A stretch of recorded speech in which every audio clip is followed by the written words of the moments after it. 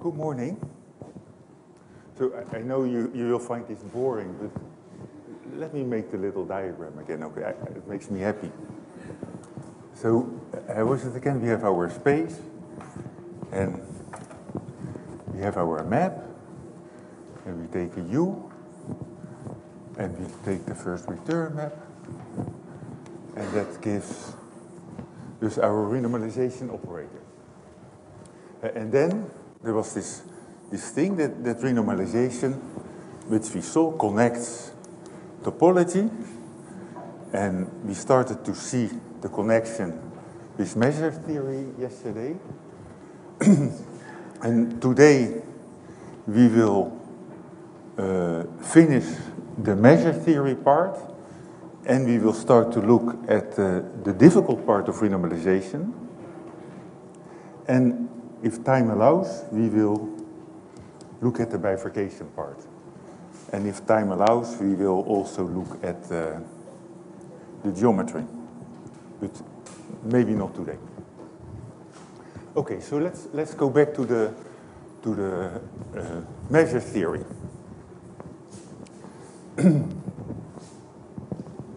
so the theorem says, which we were discussing yesterday, so if you have uh, a diffeo, uh, let's say uh, we have a diffeo which is infinitely renormalizable,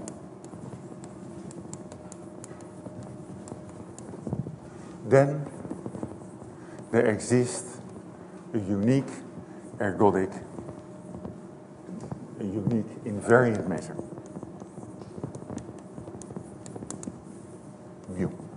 And so that means that circle diffeomorphisms, infinitely normalizable circle diffeomorphisms, as they call, they are, are called uniquely ergodic. okay, so let's let's do the proof of that. Is the machine working? Can you? Okay, so let's do the proof. And, and probably by the exercise yesterday, you know the proof by now. And so let's look at the nth renormalization of f. And um, you know that is a little, a little map like that, is uh, something like that, is an Ln and an Rn. It's like a little map. But it also comes with a partition and it comes with a tower. So this is like um, uh, Ln, and let's say this is like Rn.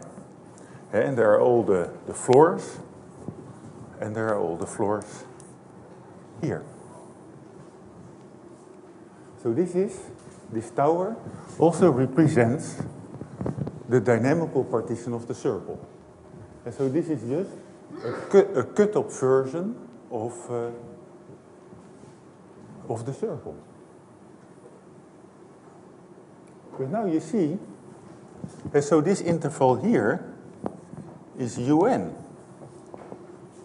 So we can represent this tower even more schematically by putting a dot here, which represents the basis of the building. And then this tower we can represent as some eh, loop in the directed graph.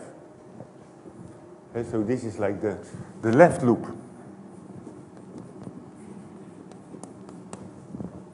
And then for the same thing, we can take Rn and we can represent all these intervals also by dots on, on a loop. Okay, so here we have the directed graphs we were discussing yesterday. so, and now um,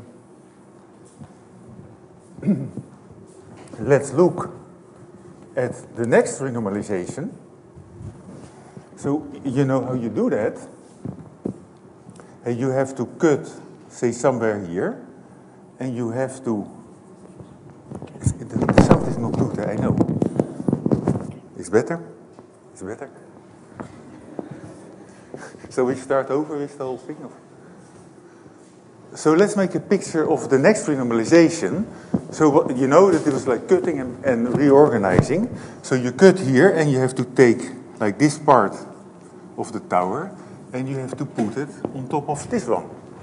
So what you get is, you get something thinner here and you get something here with this other thing on top. And so this is Ln plus 1 and this is Rn plus 1. And now this is again a tower, etc. And we can represent this again, like the left tower, we can represent again by the left loop. And the right tower we can represent also by a loop. But now let's take, let's, so this is the right loop. And now you see that this tower represents the next partition. But we know that partition is a refinement of the previous partition. And so there, there should be an inclusion map here. So let's figure out what it is. So we have to write down our, our winding matrix. So let's say this is left, right, left, right. So let's take the left loop here. So the left loop corresponds to this loop. Now what you see is the left loop starts out with, with the old left loop. So the left loop will go first around the left loop here. So it hits the left loop. And then, if you got here, you have to go to this part. But this part corresponds to this part, so that corresponds to the right loop. So what this left loop does, so this one, and what it does is it starts to go out through here, and then it goes around this one and you're back. And so the left loop uses once the left loop and it uses once the right loop. So now let's take the right loop. So that is this one. So now uh, the right loop, so the right loop is, is just a part of the old right loop. And so it just goes around here. So what you see is the right loop doesn't use the old uh, left loop, but it uses once the right loop. You see? so this was, here you see, this is the plus case. and here you see the corresponding plus, the corresponding winding matrix. And so you can do the same thing if the critical, the cutting point was here, and you would get what you would get, you, you would get the left renormalization thing, and the, the corresponding matrix would be uh, 1, 0, 1, 1. Yeah. And so, and now what we did is we, we looked at, uh, so now we have, a, let's say, this loop becomes xn, and this loop is the next one. Yeah. Oh, it's the same one. Uh, yeah, thank you. Sorry, thanks. It's like this one. Thank you. And so, what, so now we see our loops, and we have our XSN, our partitions, and we have the inclusion given by this winding matrix. And so we have our XSN here, and we have our inclusions. And this converges to the inverse limit of these things, which is x.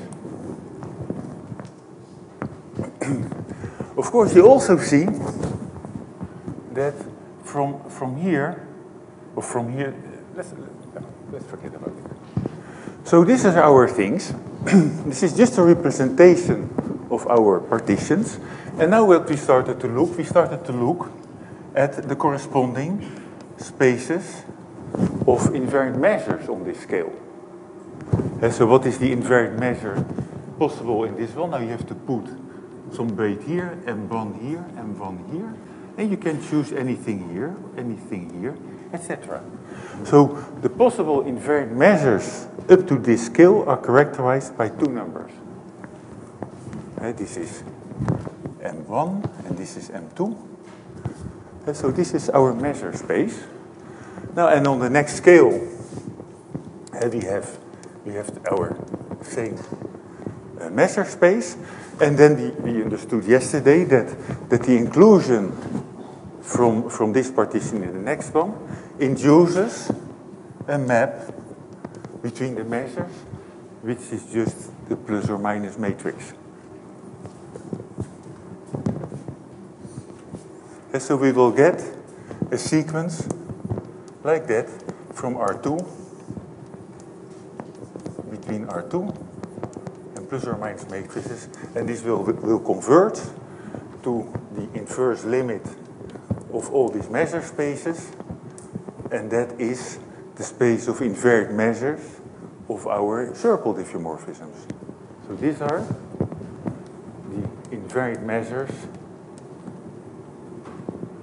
of our original map. and so now uh, we see what happens. Uh, you, like if you have your, your little cone here, that is going to be mapped maybe, maybe in this one.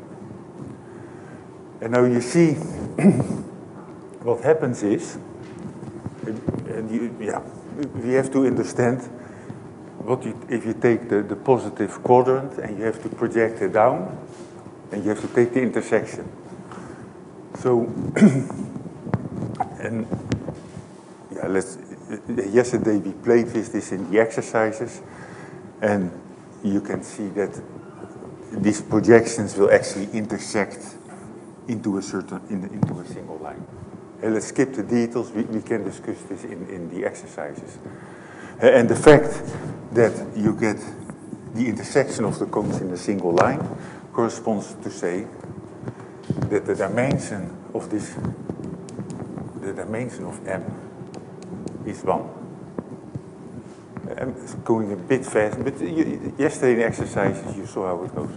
And that proves that our circle diffeomorphism has a unique invariant measure. Okay? and so we are done with this part. Okay, so now let's go to the difficult part. And so, so somehow what we are doing in this course is showing using a renormalization machine.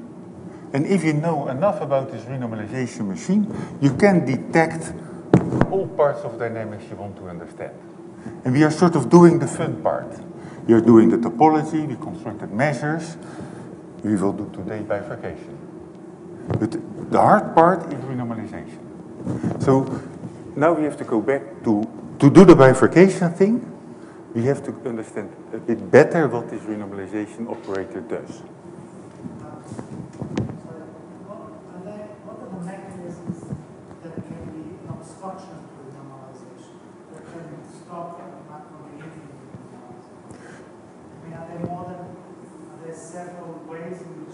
Yeah. Now, you know, so renormalization is not very useful on a topological level if your map is not infinite renormalizable. And that means when it has rational rotation number. So in the boring case, rational rotation numbers, renormalization is not so useful. Um, also, if your maps are not smooth enough, yeah. No, that is always the same. That is purely topology. Yeah.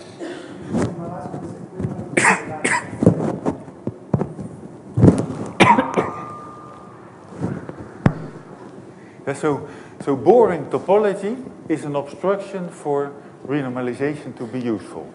Another obstruction is remember that we used C2 maps. So low smoothness is also an ob obstruction for renormalization to be useful. But you can also say low smoothness.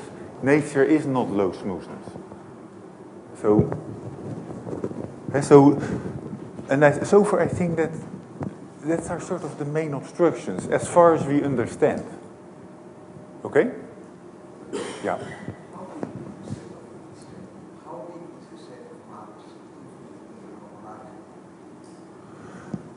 Uh,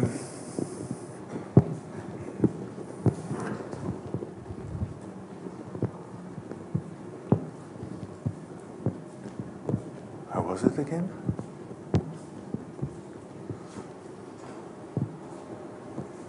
So topologically it's small. If you take a family of, of uh, circle diffeomorphisms, there will be an open and dense set where the rotation, if you take a generic family of circle diffeomorphisms, there is an open and dense set where the ro rotation number is rational. So the complement is, is something like a, a Cantor type of set. Or like irrational. So, in the, so topologically it's not a lot. But all the interesting stuff is happening there. Okay?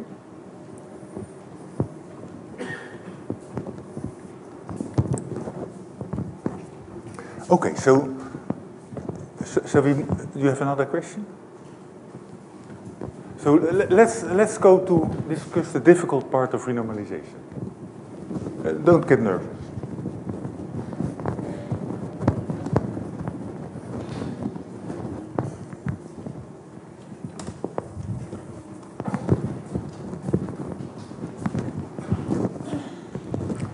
So we are going to speak about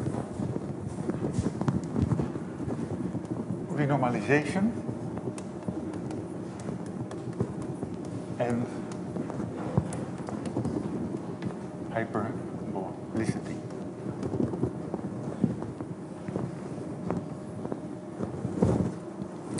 And so renormalization is an operator on the space of systems.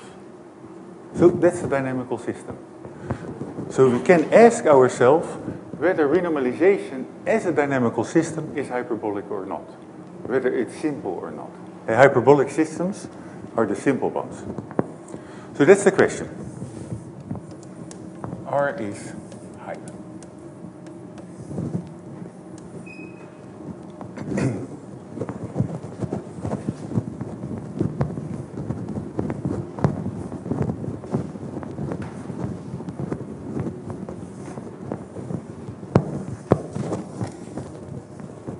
So let's first look at, in our circle case, it is easy, or there is a theorem that says the following. Let A be the set of rotations. Uh, let's like uh, F rho. It is rho in the circle. So F rho is just uh, x goes to x plus rho mod. So,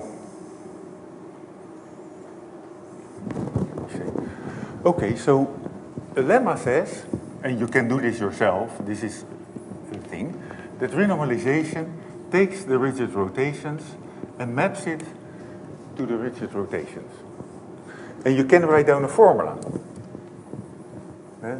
So, so this is like the rho, and I will make the graph of how renormalization acts on this, on this circle. And it looks something like that. And I think this one is like the new rho. R rho is like rho over 1 minus rho. That's in the, in the minus case. And in the plus case, I think R of rho is 2 rho minus 1 over rho. Something like that. And so it's an explicit formula how renormalization acts on, on rigid rotations. Something, and this is dynamics we understand very well.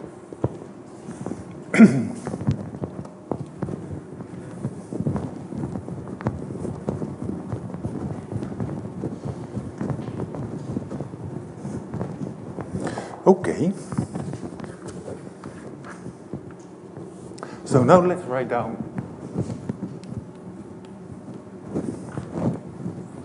I, write a big star here because this is the the, the generally difficult part of renormalization. And the theorem says the following.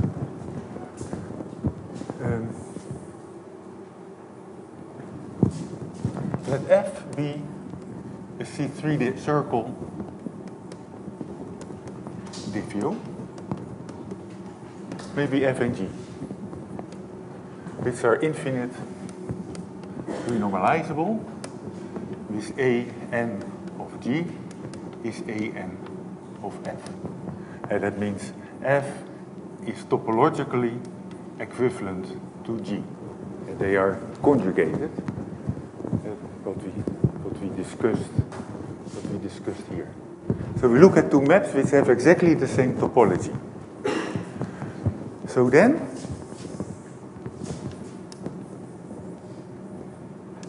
Rn of F and Rn of G, they converge to A. So if you start to renormalize some diffeomorphism, and you have little, you can make a little picture here. So you start to look at your, your renormalizations. You will have some, some bubbles here initially. But if you go on, these branches here, they will become straight lines. And that means it becomes a, rigid rotation. And, and of course, for our other map, will be the same.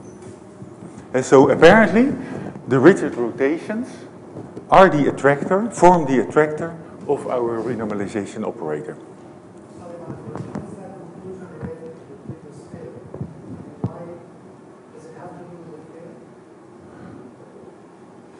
Which previous theorem?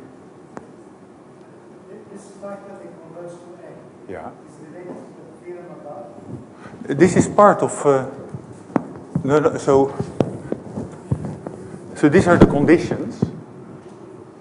And so if you take two maps F and G, which have the same rotation number, which are topologically equivalent. Okay, let me write it differently. Let's take it like this. You like it like this? Yes. And so take a, so take a circle diffeomorphism, which is infinitely renormalizable. Then the renormalizations become like the, like little rotations. Okay? So that is the first part.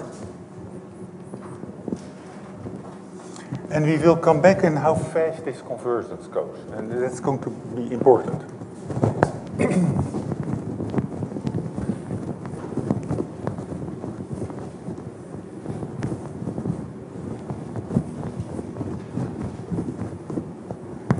So the second part of the theorem, now take F and G, which are C3 circle diffeos.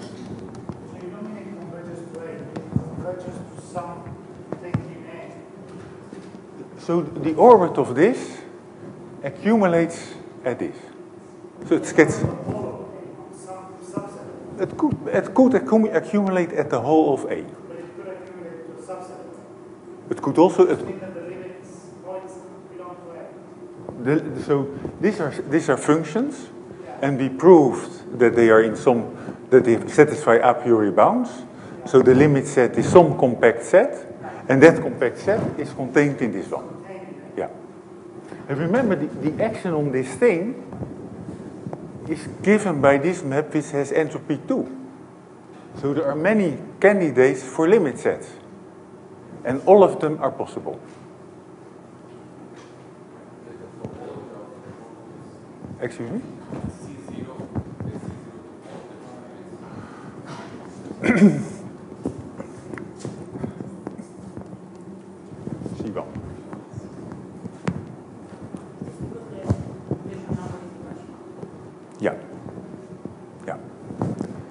Uh, if, if, the rotation, if the rotation number is rational, the thing stops. So can you repeat again the picture below the? No, so, so look, up, look at the set of rigid rotations. And so some what is happening is, here we have our space of C3 diffeos. And we have our renormalization acting there. And inside here there is a little curve, a circle. These are the rigid rotations. It's a circle. eh? Let me make it this is sort of a circle. And now if you take some map F here, which is infinitely renormalizable, and you start to renormalize, it will start to run around, run around this thing. You said that that picture describes reaction on A. This picture, Yeah, can you just explain that again? now, so if you take a- a rotation, that's labeled by the angle. So the set of rotations forms a circle as a set of functions. And so if you look in the space of all diffeomorphisms, then, then there will be this curve here.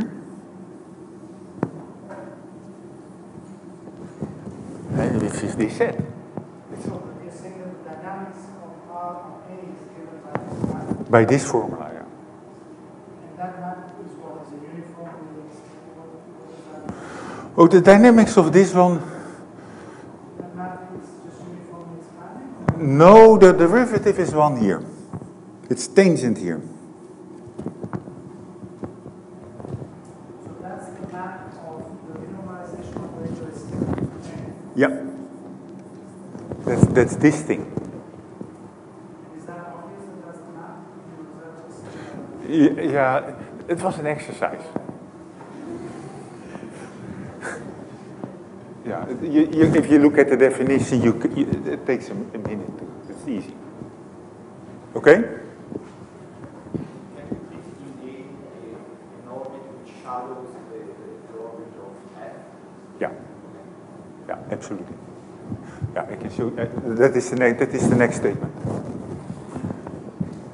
So, So uh, is it obvious that it should be essentially a smooth map? I mean, is it, uh, okay, you say just a calculation gives that that's the map. yeah, And this map is a C one map? or is it- it's a rational map. Oh, the. This is the actual formula. It's just you have to take some ratio of intervals or something. E or And so if you take a map, uh, if you have a rotation number rho, so you, and then it is rho over 1 minus rho on this side, and on the other side it is, is like 2 rho. It really doesn't matter. But, uh, What is a bit nasty is that the derivative is 1 here. That's a little bit nasty. So, so this thing is not hyperbolic. It has this neutral fixed point. And, and, and that is, yeah.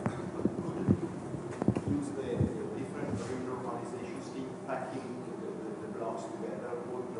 together, or minus together. Yeah, but we don't do that. Yeah, but we don't do that. We don't do that. No. No, we, we, could, we, we could do that, but then we have to do a long story, and, and for today it's not necessary. It's not necessary. And also, if you do that, the difficulties are going to be hidden. So in this formulation, you will see the difficulties. And the difficulties have something to do with this. And if you do the, the fast one, you wouldn't see this. And so the beautiful picture is the one is the Gauss map, but the more honest picture is this one. It reveals, it puts renormalization in a, is more exposed. Okay?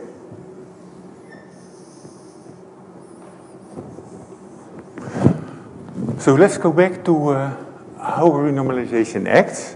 So we know that if you take an infinite renormalizable guy and you start to renormalize, it will start to accumulate at our little loop of our attractor. Sorry, Mark. Yes. The studs, so this picture is, includes rational and irrational uh, rotation. Yeah. So how do you see in that picture something is infinitely, uh, it's finitely? Uh, so inside here, there is the set of all f, where rho is in the circle minus the rational angles. And so if the rotation number is irrational, so and then this set are the infinite renormalizable ones.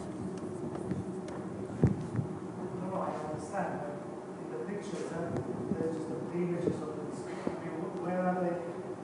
You're saying that this, this interval map is the, is the action of the renormalization of the on the rotations. Yeah. So, but every this you. Yeah. Yeah.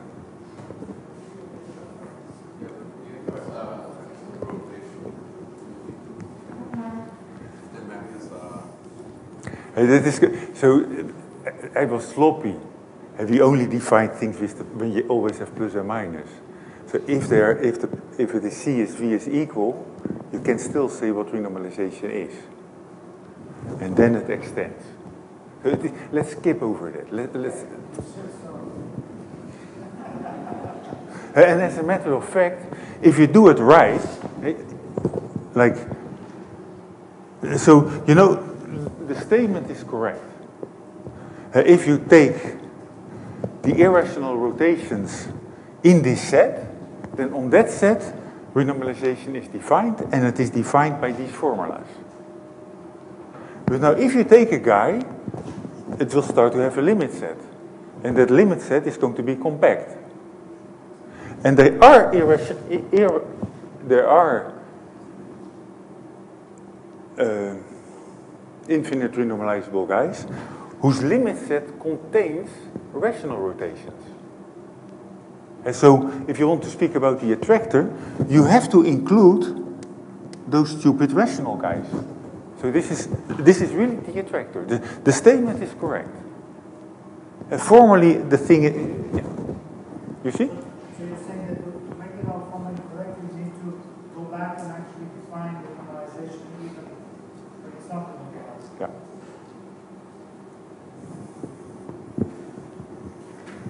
Okay.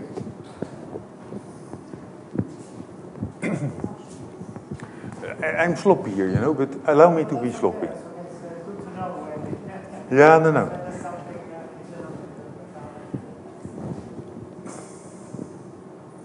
a I don't want to scare you with the real picture.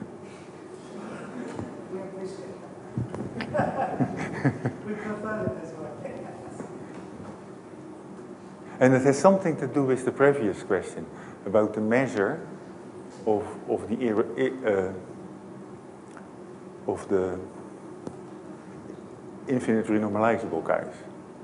And so apparently, if you take a family, uh, the infinite renormalizable guy, the, the, they form a Cantor set. And so that means that it looks much more.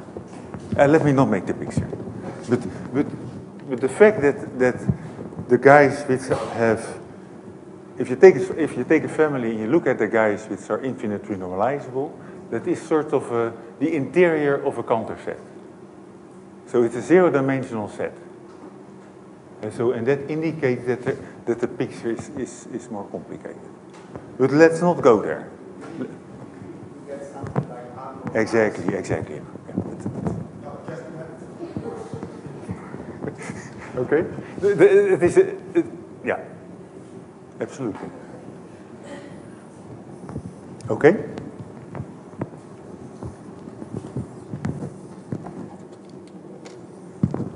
Okay, so that is about um, so let me again say, so the statement is correct that if you start to renormalize, you will converge to this set. So the, the second part of the statement is, if you take two maps which are C3 circle diffeomorphisms, and they have the same rotation number. And that means the for that means that the rotation number of f is the same as the rotation number of, of g, and it is part of uh, the irrational numbers. Then the renormalizations of f and the renormalizations of g go to zero. And again, that is in C1 topology. So about, somebody had this question about shadowing, if you take your, your map and you look which rotation number it has, you can look at the map here with, which has that rotation number. And now if you try to take the, the, the original rotation with rho and f, then they will come together.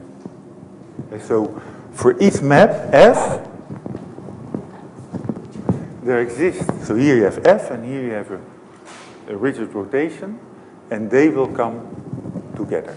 And so rigid rotations are the ones which are shadowing. Okay? so then there is a third part, and that is a little, a little technical, not, not only a little.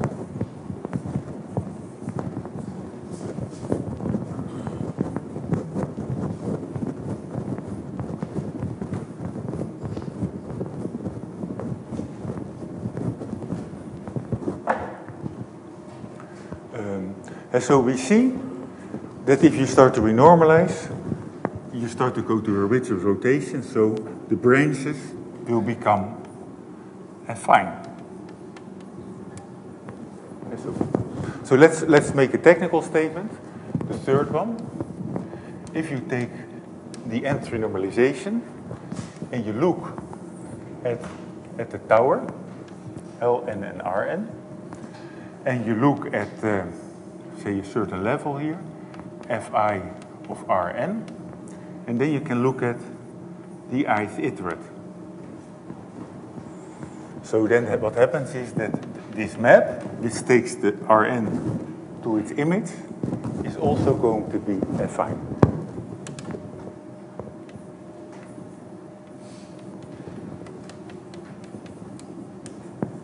So this map converges uniformly, that means in N and, and I, to affine map.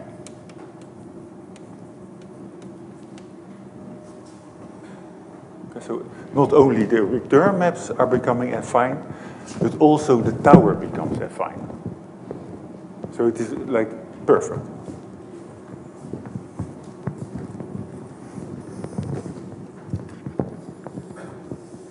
So let's let's use this.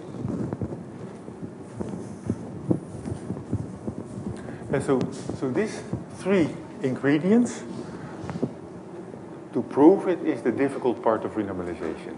In this case, we can do this. We, there are relatively simple tools which allow you to prove that. And for people who are a bit familiar, uh, you can use nonlinearity, which you have seen, and something like Schwarzian derivative, very classical tools. And in the circle case, you can prove that. It is, it's involved, but not very difficult. Doable. In other cases, which we will see later, this is going to be one of the most, of, I would say, one of the most sophisticated theories in dynamics. It has a star. Um, and so in this course, we are not going to discuss the star.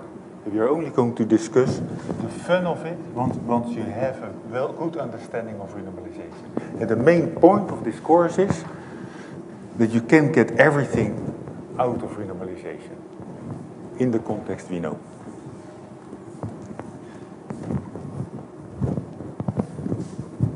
So let's do an example.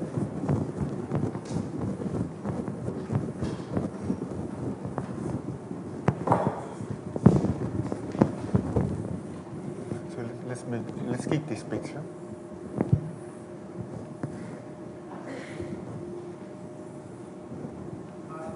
Yeah. Sorry, so presumably putting those, those two statements together, this sequence at the end is the one corresponding to the limit of the, it defines also the, Yeah. the limit. Yeah, of yeah, the yeah. path of the Yeah. rotation. Yeah. So it, it parameterizes Hey, you, you know it is like this. If you if you take your map that has a rotation number, and that rotation number is sitting somewhere here. And this point will have a limit set under this map. And that limit set is the limit set of your map. It's exactly, and that can be anything. It can be a periodic orbit, it could be a fixed point, it could be the whole thing. Exactly. That, that, thanks, that was nice. Okay, so, so here we have our map, our renormalization on, on the attractor. And now let's do an example.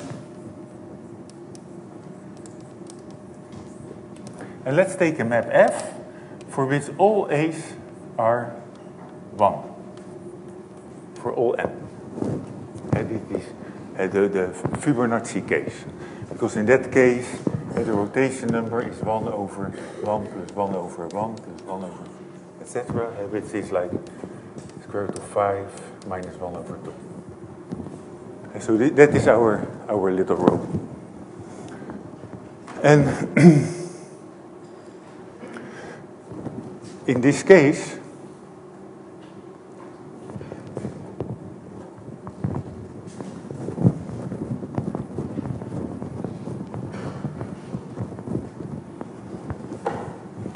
if you take f rho, is, is this rotation one, which is uh, the rigid rotation, the rotation,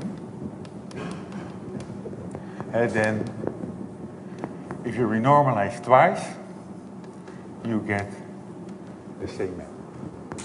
And so this Fibonacci rotation corresponds to uh, to uh,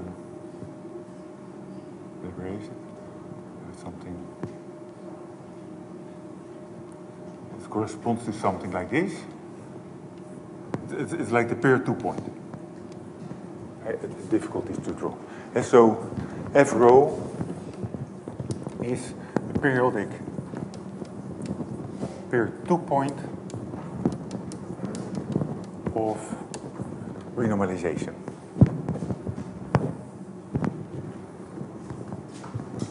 And of course, as you see this thing is sitting somewhere here and sitting somewhere here.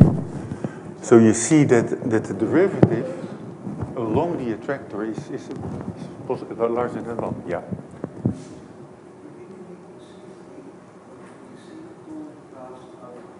C2 plus alpha is okay. Yeah, but let's say C3. Could you just say that that might converge to the maps corresponding to the linear power? Yeah, absolutely, absolutely, absolutely, absolutely. Yeah, perfect. And we will use that a little later. and so we, are looking at our simple example where we have always plus minus plus minus plus minus renormalization. And we get the golden rotation number. And that is a period two point of renormalization. And of course we see that if you take the derivative in this point, let's say along the attractor, that is larger than 1. And so uh, you- see it in the picture, the slope here is larger than 1. So in, in the attractor, it is an expanding periodic point. And so it is an expanding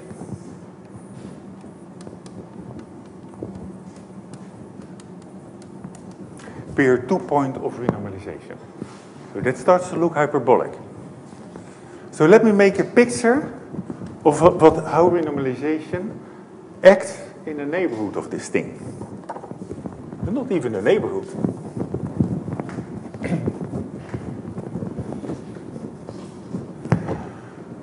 so let's say here we have our space of C3 diffeos. And somewhere here we have uh, our, uh, our little map rho. And uh, somewhere here we have the renormalization of our little map. And now you see that, that this map is contained in the attractor, so it's contained in this, in this circle. Okay, so that is a, there's a curve here. And that curve, according to this expansion thing, is the unstable manifold of this thing. So we detected the unstable manifold of renormalization in this point. And for similar, this, this same curve will, will go around, and it will be the unstable manifold of the renormalization of this kind.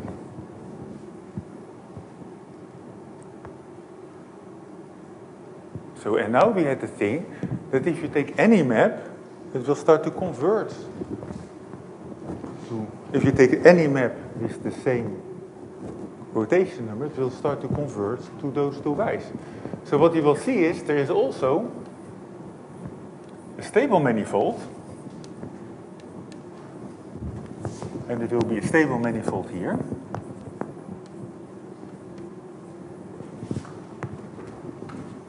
So, and this is the dynamics. So renormalization has a one-dimensional unstable direction and a co-dimensional one stable direction. And in here, so under this combinatorics, this will actually be exponential convergence. So it is really a definite contracting manifold. So this is an hyperbolic picture.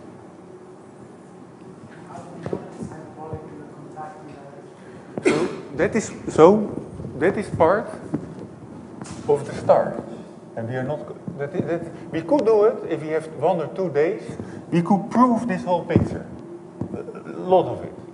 But we don't do that. We want, want to have the fun of it. So this is the, the, the dynamical picture of renormalization. And now the fun thing comes. And, and that is main point, a, main advantage of renormalization. So if you look, maybe I should, I should draw this very big, because this is really important. This is really important. So let's take let's take the set of all f in the C3 diffeomorphisms where the rotate where all the ANs of f are 1. Or in other words, the rotation number of f is uh, square root of 5 minus 1 over 2. Yeah? Let's look at all these maps, which you can renormalize in exactly the same way. So have you learned that if you have two maps in that class, they are topologically the same? Have we, con we constructed the conjugation? And so we know that this is a topological class.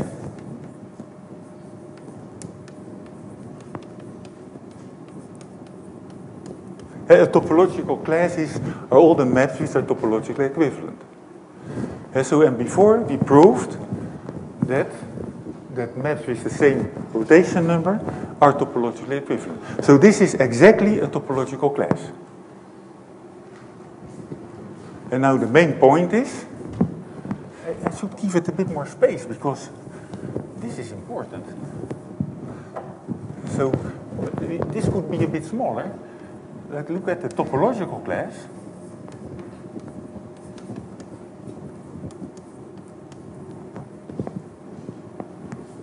And now what you see is that the topological class is that. Is the stable manifold of F rho. So this is the key point, which is, which is a codimension 1 manifold. So this is, this is the key thing.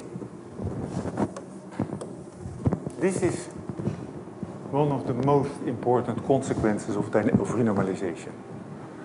So, if you look just at this set, don't even try to think about it just in general. It is a very complicated thing if, if you don't know anything to deal with it. But apparently, we identify it with a stable manifold of an operator, of an hyperbolic one. And there we know that these are manifolds. So from this whole renormalization thing, we are done with bifurcation theory. We know that the topological classes are manifolds. So done. And in particular, remember in the first day we, we, did this exercise that if you have a circle diffeomorphism, you can push a little bit and then the orbits become periodic. So you can change the topology by pushing up a little bit.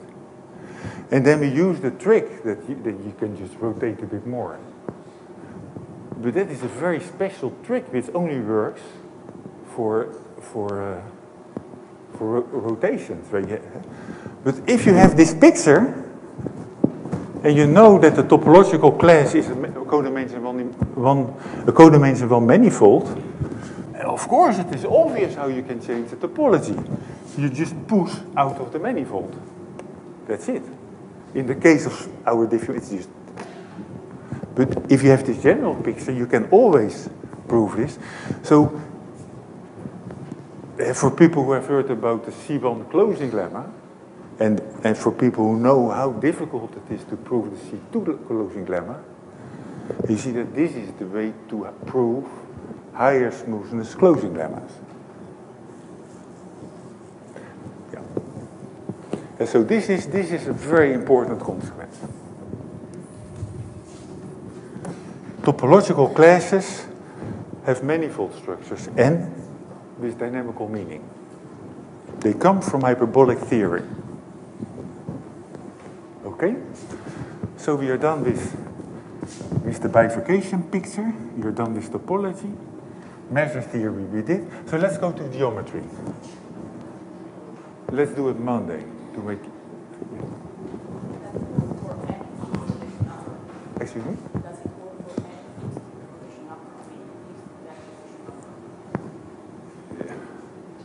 Yeah, the same would be true if you take uh, any bounded sequence. It's still perfect. If it goes up, I don't know what happens. If you have some non if you have Diophantine numbers, it will still be okay. If they become very bad, yeah. If you, if you take any, uh, uh, yeah. Okay, so let's discuss Monday, like like the the geometric part. You have another.